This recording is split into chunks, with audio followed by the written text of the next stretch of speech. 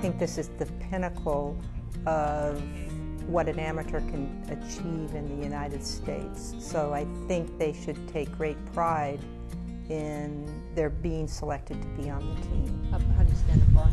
I view my job as setting them up to succeed, and that's with preparation, that's with how we do the pairings, and then on the course, advice that I will be the only one being able to give to the players. So, how to do that strategically, discreetly, and appropriately will be my challenge for sure. Great chip, great up and down. That's a great iron shot into there.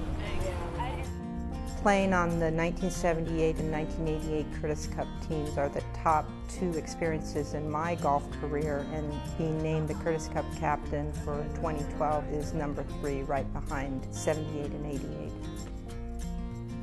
These young ladies are going to be tremendous representatives for the United States. They all have a passion for the game, integrity, and a dedication. Oh, nice shot.